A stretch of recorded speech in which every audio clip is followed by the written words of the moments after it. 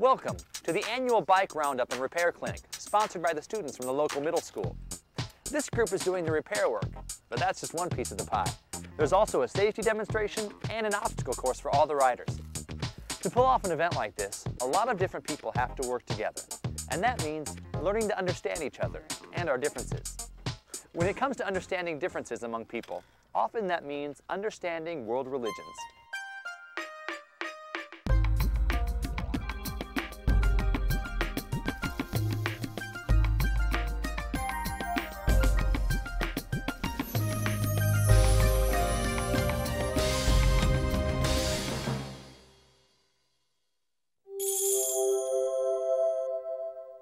Today we're going to talk about Buddhism.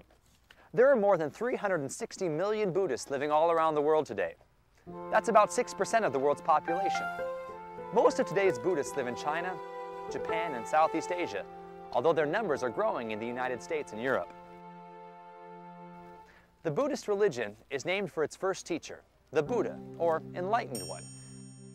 His followers believe the Buddha was enlightened because he was awakened from ignorance and realized the truth about life. That great enlightenment came about 2,500 years ago to a prince who left his family and possessions to achieve it. According to Buddhist tradition, Siddhartha Gautama was born around 563 BCE near the Himalayan mountains in what is now the country of Nepal. He was a prince raised in the palace of his father. Siddhartha's father wanted his son to be happy, so was careful never to let him see anything in the world that might make the boy feel sad. But when Siddhartha grew up to be a young man, he wanted to see more of the world than just the inside of a palace. So one day, he left and wandered the open road. On his journey, Siddhartha saw four things that changed his life. For the first time, he saw an old, old man and realized that all people grow old. He saw a sick man and realized that there is pain and sickness in the world.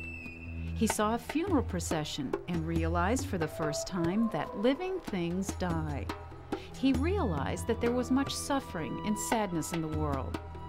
Finally, he saw a religious man who had given up all of his possessions yet seemed happier than the people who owned many things. And so Siddhartha decided he would give up everything he had his father's riches, even his own wife and child and search for answers to the question of why there is suffering and sadness in the world. Siddhartha exchanged his fine clothes for the long robes of a monk a holy religious man. Siddhartha lived a life of poverty for six years. He went without food and sleep so that he could understand what it felt like to be hungry and tired. He became very thin and nearly starved to death. But he felt no closer to the answers he was looking for. Siddhartha realized he was not going to gain the truth by denying the needs of his body. From then on, Siddhartha chose what he called the middle path neither the self indulgence of his life in the palace nor the extreme self denial of his life in poverty. Instead, he chose a life of moderation. Living this way, he was able to think calmly and clearly about the answer to his question of why there was so much suffering in the world. This kind of calm and focused thought is called meditation. Siddhartha found his answer one night while meditating under a tree he came to understand the truth about suffering, what causes it, and how to stop it. Siddhartha realized that suffering is caused by desire or wanting. Buddhists call this moment the Great Enlightenment. Siddhartha was now the Buddha, the Enlightened One. Buddhists believe that for the next 45 years, the Buddha devoted his life to teaching others about what he had discovered. In the thousand years following the death of the Buddha, his teachings spread and took firm root beyond his homeland. As Buddhism spread, it changed to reflect the different cultures of the new lands it reached. The religion split into many branches. The two largest became known as Theravada Buddhism and Mahayana Buddhism. Theravada Buddhism is concentrated in countries like Sri Lanka, Thailand, Cambodia, and Laos. Mahayana Buddhism is practiced primarily in Tibet, China, Korea, and Japan. Those two branches, Theravada and Mahayana, remain the dominant forms of Buddhism in the world today. Did you hear what was at the heart of the Buddha's great enlightenment? The Buddha realized that people suffer because of desire or wanting, so the practice of Buddhism revolves around recognizing those wants and getting free from them. Michelle, Lalita, and Peony will perform a blessing dance in the Thai tradition. Some of the Buddha's core teachings guide them and other Buddhists in their daily lives. An important part of the Buddha's teaching is called the Four Noble Truths. The first noble truth is that suffering is a part of life. The second noble truth provides the reason for suffering. Suffering comes from desire, like wanting to be popular and to be liked by a certain group of people. The third noble truth is the belief that there is an end to suffering. The Buddha said that if people stop wanting, they won't suffer anymore. The fourth noble truth speaks of the ways to end suffering. This is called the Noble Eightfold Path. In the Noble Eightfold Path, the first step is right understanding, which means understanding the Four Noble Truths. 2, 3, and 4 are right thought, right speech, and right action, which mean thinking, speaking, and behaving in a kind and compassionate way. You know, no gossip, no bullying. It's very important in the Buddhist way of life to act unselfishly and to put the needs of other people first. Number five is right livelihood, which means choosing work that doesn't hurt people or other creatures or our environment. Six, seven, and eight are right effort, right mindfulness, and right concentration. These have to do with meditating and trying to free your mind, replacing selfish or evil thoughts with good ones. The Four Noble Truths and the Noble Eightfold Path are used daily in our life because they teach us how to be good people. Um, when like my brother gets me mad because he breaks my hair stuff or he ruins my homework, I'll just think about that and how I have to be kind to other people. The Four Noble Truths and the Noble Eightfold Path are important parts of the Buddha's many teachings known as the Dharma, the doctrine or law of Buddhism.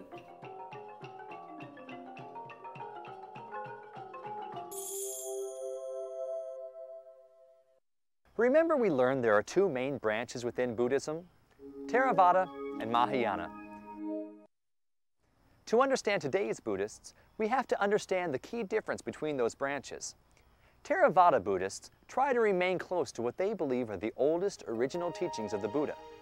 Theravada Buddhists believe that each person, individually, has the ability to reach enlightenment by understanding the Four Noble Truths and following the Noble Eightfold Path. Mahayana Buddhists believe that people need help if they're going to achieve enlightenment. Mahayana Buddhists believe help can come from people who have achieved enlightenment, including the Buddha himself, and that anyone who is working to achieve enlightenment should also be helping other people reach the same goal. Men and women who are already enlightened and have dedicated their lives to helping others are known as bodhisattvas. There are some shared beliefs most Buddhists do have in common. One is the great importance of compassion, being unselfish enough to put the needs of other people ahead of your own. Another is the belief in a continuing cycle of life, This group of young artists draws on their beliefs and discusses the details of the Buddhist tradition. We believe that when a person dies, it's not the end of everything.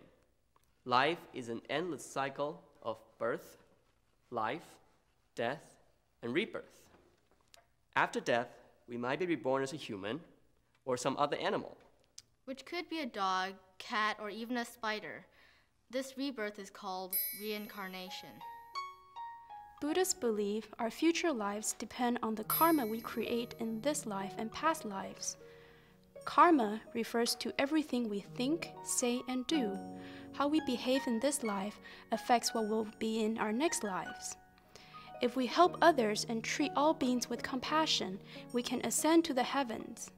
But ultimately, Buddhists hope to escape the continuing cycle of birth and death, which brings suffering, and to reach nirvana, a state of being where there's no more suffering and no more rebirth. Being human is thought to be the best rebirth from which to reach nirvana. We believe that the Buddha was the first person to reach nirvana. As Mahayana Buddhists, we believe that there are countless Buddhas and countless Bodhisattvas. Buddhas are fully enlightened, while Bodhisattvas are partially enlightened beings who are practicing to become Buddhas. Monks, nuns, and even ordinary people can attain enlightenment, but it may take many lifetimes to become a Buddha. The Buddha himself practiced as a bodhisattva for numerous lifetimes before achieving Buddhahood. A bodhisattva is someone who chooses not to become a Buddha until every other living thing is also enlightened. That's why bodhisattvas are so important. They help guide others to enlightenment. For example, there's a bodhisattva named Guanyin, or contemplator of the world's sounds, who has vowed to save living beings from suffering whenever they recite her name. Mahayana Buddhists believe that the spirits of past religious leaders are still active in the world too. Spiritual leaders help keep a religious tradition alive, providing an example of devotion and guidance in interpreting religious teachings. For many Buddhists of Tibet, the spiritual and political leader is known as the Dalai Lama, and his teachings are known throughout the world. Dalai Lama means teacher whose wisdom is as great as the ocean. Tibetan Buddhists believe that the first Dalai Lama lived about 600 years ago. Tibetan Buddhists believe that each time the Dalai Lama dies, he is reincarnated as a great spiritual leader. One of the most important spiritual leaders of our time has been the 14th Dalai Lama. He was born in 1935 in Tibet. In the year 1950, as the Dalai Lama assumed his role as political leader of his country, Tibet was invaded by Communist China. As a result of threats on his life and the desire to continue to aid his people, he escaped to India to live in exile. In the years following, he remained both a spiritual leader and an inspiration to his people in Tibet and around the world. Buddhists also have spiritual leaders in their own communities. This tradition started during the time of the Buddha. Following his enlightenment, the Buddha devoted his life to teaching a community of followers known as the Sangha. Today, the Sangha is made up of monks and nuns, and often other believers called lay people. This community is so important to Buddhism that the Sangha, the Dharma, and the Buddha are sometimes called the Three Jewels. Monks and nuns of the Sangha live in a monastery where they can devote their lives to following Buddhist teachings. For the Mahayana tradition, community service requires using the hands as well as the head and the heart. In the Theravada tradition, the monks serve their community by working to achieve wisdom and understanding, which enriches the life of the community. And in some countries, it's a tradition that often begins at a very early age. Two Buddhist monks, the Venerable Abbot Pasanno Bhikkhu and Sudanto Bhikkhu, tell us about monastic life. Buddhist monastery provides a peaceful place for the entire community. It's also a place to practice the teachings of the Buddha. The Buddha is sort of seen as the uh, example or the image of uh, one who is truly awakened, uh, who is completely wise, re reflect on the qualities or chant on the, the, qualities of the, of the Dhamma. These are qualities of, of truth. We shave our heads and wear robes, just like the Buddha did. It's a chance to meditate and study in a monastery. The rules the monks follow are based on the five moral precepts of Buddhism. We vow not to harm any living thing, not to steal or take that which is not given, to practice self restraint, not to speak unkindly, and to abstain from the use of drugs or alcohol. The rules are strict here. We have 227 in all. We meet twice a month to declare what rules have been broken and to make confession. When we become monks, we train ourselves to be content with little. We simplify our lives and rely on dana, which are gifts of food, clothing, and other necessities. Dana is given freely by the lay community. We choose a simple life so we can focus on developing a peaceful heart.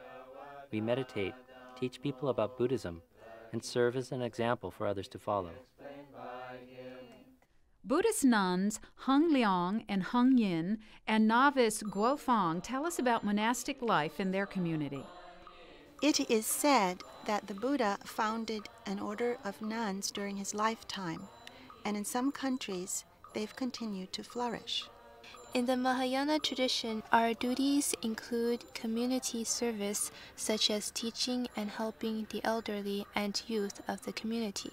We're also translating ancient scriptures into other languages, and we're using some very modern technology. This is a task that began thousands of years ago. The task of collecting and distributing Buddhist sacred writings, called sutras, began hundreds of years after the Buddha's death. Like many of the great religions, the earliest followers first handed down the sayings of their leader by word of mouth and wrote them down much later. When members of the Sangha wrote down the Buddha's words, they didn't write on paper. They used the leaves of palm trees. They kept the palm leaves in baskets. These writings are part of Buddhist traditions, sometimes called the Tripitaka, which means three baskets. The Tripitaka contains the Buddha's words and his guidelines for living.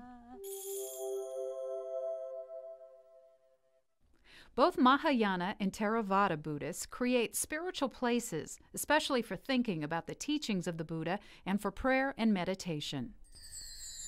For centuries, Dharma wheels have turned in Buddhist lands. Monasteries in Tibet often housed rows of large Dharma wheels powered by wind, water, or human hands. Spiritual leaders of Tibet, called lamas, and lay people alike have similar wheels which they turn in prayer. Each revolution of the wheel releases the special blessings of the sacred text and mantras contained within. Great masters have taught that these blessings have the power to clear away obstacles to enlightenment and to harmonize the natural environment. Tibetan Buddhists place prayer flags outside their homes, temples, and other spiritual places. Didi's family is from Thailand. They are Theravada Buddhists.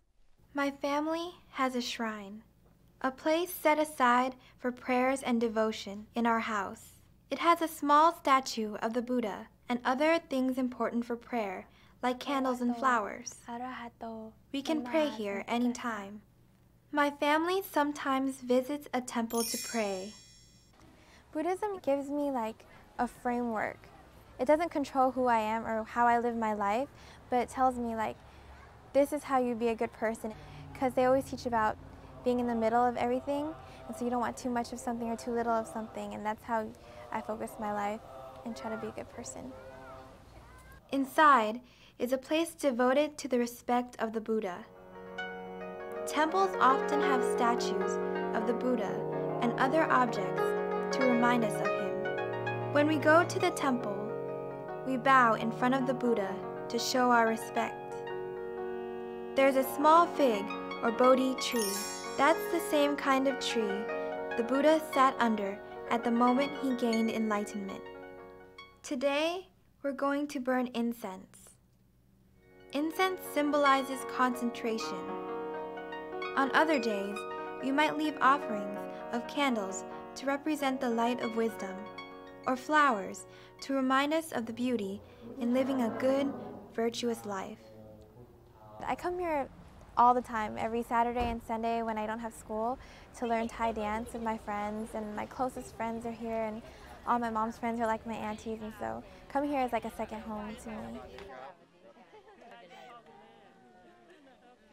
The lotus flower symbolizes enlightenment.